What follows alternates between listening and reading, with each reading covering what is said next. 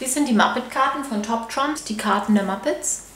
Mit denen kann man jetzt leider kein Quartett spielen, weil es sind zwar alle Figuren der Muppets dabei, Stassler und Waldorf zum Beispiel. Ihr Debüt war 1976.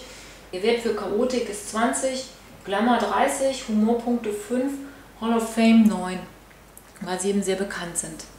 Jim Henson, Gonzo gibt es, es gibt Beauregard, es gibt Bean Bunny, es gibt den dänischen Koch und so weiter und so fort. Hier ist nochmal Kermit. Da es jetzt hier im Prinzip keine Kategorien gibt, kann man damit eben kein Quartett spielen. Was man aber spielen kann, ist Trumpfen. Das klassische Top Trumps Trumpfen. Verteile alle Karten verdeckt gleichmäßig an alle Spieler. Die Karten werden gemischt und ausgeteilt. Verdeckt und gleich viele. Jeder Spieler nimmt seine Karten so in die Hand, dass er einen Stapel bildet. So, und nun wird gestochen. Das war der Geber. Es geht immer im Uhrzeigersinn, also abwechselnd. Der erste Spieler wählt seinen besten Wert, normalerweise der höchste, seiner ersten Karte.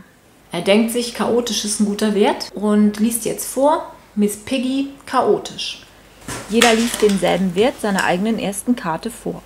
Diese Karte hat bei chaotisch nur 11. Dadurch ist klar, Miss Piggy hat gewonnen. Der Spieler mit dem besten Wert gewinnt und erhält die obersten Karten seiner Mitspieler, die er zusammen mit seiner eigenen unter seinen eigenen Kartenstapel steckt.